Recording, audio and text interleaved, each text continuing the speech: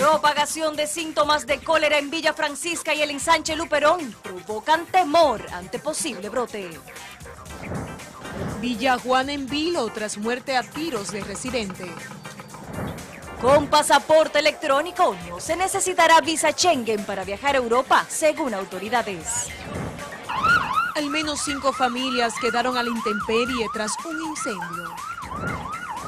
25% de la población adulta padece anemia. Los detalles en tu salud. Tras un parto, ¿con qué periodicidad se debe visitar al ginecólogo? La respuesta en la consulta. El Salvador tiene el primer laboratorio virtual de medicina en Centroamérica. Ministerio de Turismo presenta a Santiago como destino turístico. Insólito, ñame gigante sorprende agricultor. En Pa' que sepas quiénes son los reyes del Carnaval 2023. Además, la ley de dos días para Premio Lo Nuestro y el talento dominicano dice presente. Jamaico Navarro se queda en el corral de los toros, mientras que la principal prioridad para los padres de San Diego es retener a Manny Machado. Esto y muchísimo más en los deportes.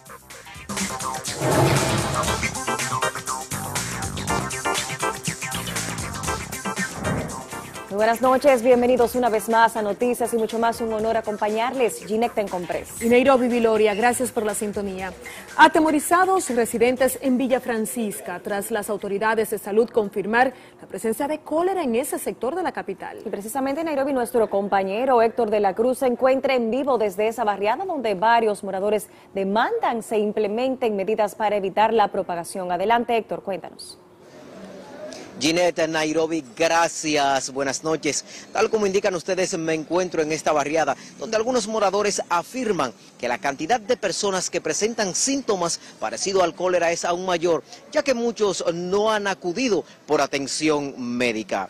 Pero la mayor preocupación para algunos son los niños del sector, ya que próximo al lugar donde se detectaron algunos casos hay un drenaje a cielo abierto.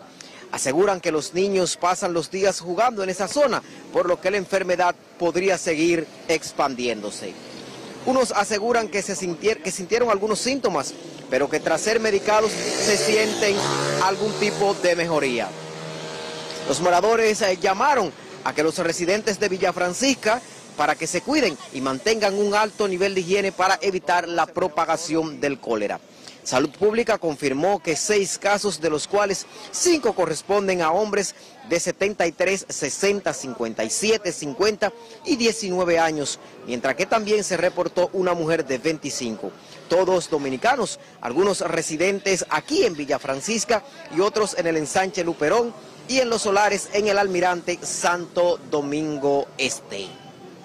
Mucho temor, claro que sí, por el cólera tienen que ponerle mano fuerte a las autoridades para que no se extienda, porque hay muchos niños que andan descalzos. Lo primero que tenemos que tener es higiene en la casa, tener, lavar los alimentos, también en cuanto a eso, ¿para qué? Para que no haya una expansión de las enfermedades que hay hoy. Como tres días con una diarrea y yo pensé que era comiendo algo que me cayó mal. Y no, pero cuando llega el tercer día que hoy, me estaba dando unos mareos que yo dije, ¿qué? Me voy a caer. Ahí fue que llamé al 911. Vinieron, me chequearon. Me tomaron la presión y el azúcar, estaba normal. Pues yo pensé que me iban a llevar por la diarrea, pero se me ha calmado. Como está en esta enfermedad de ahora, usted ve, y eso siempre está ahí acumulando basura. Y yo temo por eso, porque ya usted sabe, por aquí hay muchos niños, mira cómo están ahí los muchachitos jugando y cosas, que, ven, que venga y afecte a uno en el barrio, ya tú sabes. Ante la aparición de los casos, residentes aquí en Villa Francisca pidieron a las autoridades de salud que se mantengan vigilantes para evitar la propagación de la enfermedad. Pero nuestro compañero Sandy Cuba preparó una historia completa esta noche en nuestra emisión estelar a las 10 de la noche. Ginette, es toda la información que tengo por el momento, así que retorno contigo al centro de noticias. Muchísimas gracias, Héctor, por esos datos en vivo. De otro lado, un panorama nebuloso es el que presenta el sistema de salud de República Dominicana a tres años de la gestión que representa el presidente Luis Abinader ¿Cómo ha avanzado el sistema sanitario en la República Dominicana? Entérese esta noche en la segunda parte de la serie Rumbo a la rendición de cuentas, a las 10 de la noche en nuestra emisión estelar con Alicia Ortega. La muerte a tiros de un hombre durante un supuesto enfrentamiento entre bandas en la calle Mauricio Báez en Villa Juana dejó al descubierto el terror que viven los residentes y comerciantes de la zona, quienes piden se incremente el patrullaje. De su lado, la policía activó la búsqueda de dos de los cuatro hombres que quedaron captados en una cámara de seguridad lanzando disparos para cometer un asalto según la uniformada. Dios que lo perdone. Y a la madre de esos jóvenes que la ayude porque yo sé que ya están pasando quizá lo mismo que yo. Por ahí es un pedazo que dicen los menores que, que el que pasó después de las 12 por ahí, ya tú sabes. ¿Y se atracan? Lo atracan, le quitan los tenis. Con la muerte del hombre de 31 años, queda en la orfandad una niña de 7. La pregunta de Twitter de esta noche, ¿a qué atribuye el hecho de que en los últimos tiempos se ha acentuado la propensión a resolver conflictos por medios violentos que en ocasiones termina en tragedias en el país? No olvide responder con la etiqueta Opínese y más adelante leeremos algunos de sus comentarios. A una semana del inicio de la legislatura, los diferentes partidos representados en el Congreso comienzan a definir sus prioridades y la pertenencia de algunos proyectos de ley, como el controversial Código Penal, que lleva más de 20 años estancado por temas que mantienen dividido a la sociedad como el caso del aborto en las tres causales. El proyecto de ley de agua y de fideicomiso público también serán parte de las iniciativas que priorizarán los legisladores a partir de este próximo 27 de febrero, cuando inicia la nueva legislatura. La directora de Pasaportes, Digna Reynoso, explicó que a pesar de que solo Canadá no reconoce el sello como método de renovación del pasaporte implementado en el país, el documento se entrega a quienes viajarán a esa nación. Al ser entrevistada en el programa El Despertador del Grupo SIN, junto a la directora de emisión de pasaportes, Eduard Figuereo, la funcionaria reiteró además que será en abril cuando los suplidores internacionales cumplirán con la entrega y podrán suplir la demanda de libretas de manera regular. importante que hay que resaltar en este proceso es que Pasaporte creó lo que se llama un ítem o un renglón de, que se le llama pasaporte temporal. ¿Para qué? Para que cuando lleguen las libretas nosotros poder contactar a los dominicanos que ya hicieron su renovación por sello y puedan ir a retirar su libreta. No tiene que volver a pagar. ¿Y Por se le va a restar ese año Indicaron además que se están llevando a cabo negociaciones para que a partir del 2025, mediante el pasaporte electrónico, los dominicanos no necesiten visa Schengen para ir a Europa.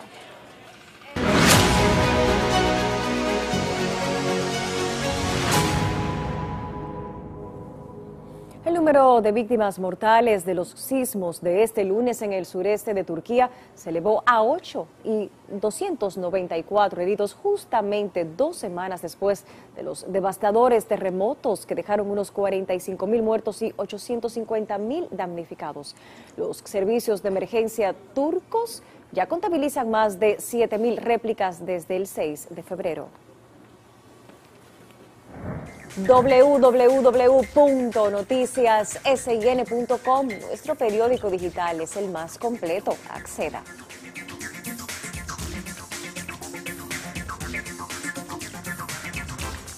A más de un mes del inicio del plan piloto de transporte escolar, han beneficiado cientos de estudiantes de distintas comunidades del Distrito Municipal La Victoria en Santo Domingo Norte. Así lo afirman algunos padres quienes dicen ahora tienen mayor tranquilidad al enviar a sus hijos a clases, mientras que barrios y municipios vecinos esperan la implementación de este programa.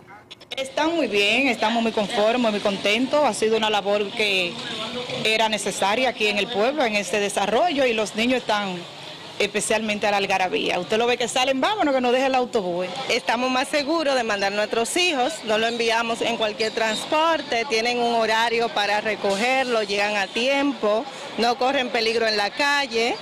En sí yo me siento muy feliz. El plan piloto de transporte escolar también se desarrolla en Monteplata, San Cristóbal, Baní y Jaina.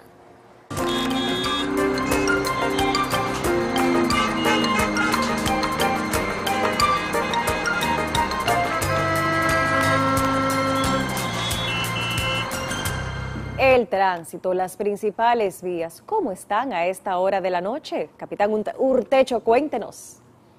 Gracias, Ginette. Muy buenas noches. En este momento, el 35% de las vías congestionadas. Atentos a los que transiten en la carretera Sánchez a la altura del cruce del Cajuelito. Hay un accidente con una persona lesionada, un vehículo virado a un lado de la vía el tránsito está congestionado en ambos sentidos. Otro accidente en el kilómetro 100 de la autopista Duarte o a la altura de Loma Miranda, en dirección hacia el Cibao, donde tenemos una persona atrapada dentro de un camión. Se trabaja para liberar a esta persona. El, tránsito está retrasado en este punto. Camión averiado en la Francisco Alberto Camaño Deñó, frente a la terminal Don Diego, en dirección desde el puente flotante hacia el malecón. Y tenemos un vehículo averiado en el puente peinado en dirección hacia Santo Domingo Norte genera tapón, se extiende hasta la Pedro Livio Cedeño. En este momento, la avenida Hermanas Mirabal está con 19 minutos, prácticamente tráfico viable debido al vehículo averiado en el puente peinado en dirección hacia Santo Domingo Norte. La Núñez de Cáceres retrasada 25 minutos, la avenida Brandín con 32 minutos en dirección desde el malecón hacia la John F. Kennedy. La Tiradentes con tráfico ligero, 13 minutos en dirección hacia la Kennedy y la Máximo Gómez aumentada debido al vehículo averiado del puente Penado con 28 minutos y una cola de vehículos que se extiende hasta la Pedro Livio Cedeño. Esto es lo que tengo. Vuelvo con ustedes al estudio.